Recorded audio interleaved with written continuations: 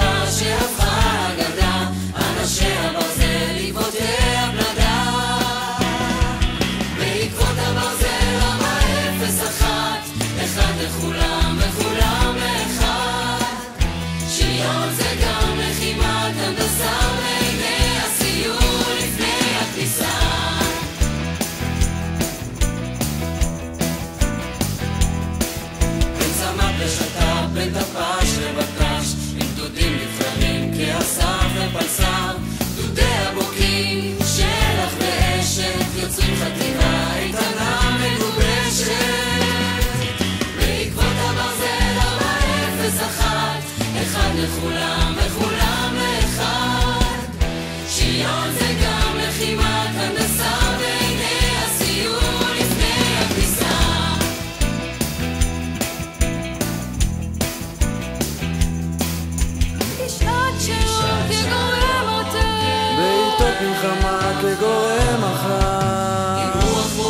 דורשת נחישות ויוזמה, תעוזה נכונות